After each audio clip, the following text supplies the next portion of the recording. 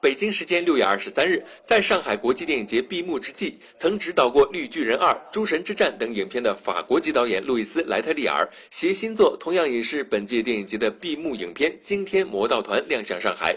路易斯·莱特利尔在发布会上与记者带来了一段用纸牌做道具的心灵感应魔术，导演猜牌的准确性令现场记者目瞪口呆。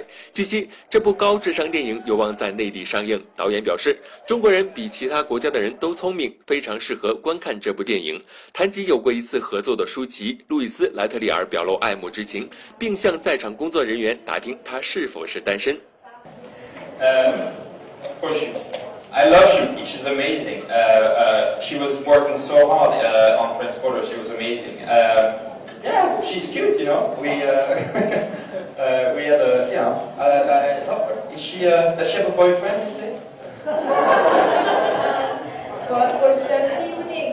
电影《非常人贩》中，我跟舒淇合作，她是一个非常漂亮、非常可爱的女孩，我很喜欢她。就是不知道问一下媒体，舒淇现在有没有男朋友？Uh, and then the uh, uh, I'd love to work with Suki again. Suki again. I'd love to work with uh, uh, Xi Zhang, Zhang Xi.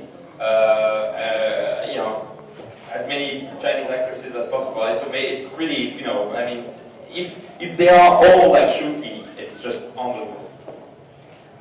非非常乐意跟舒淇在第二次合作，因为我也很想，也很愿意和中国的女演员合作，任呃所有的女演员都可以，越来越多越好。如果她们都像舒淇一样漂亮就可以了。But I'm, but my heart will be broken many times.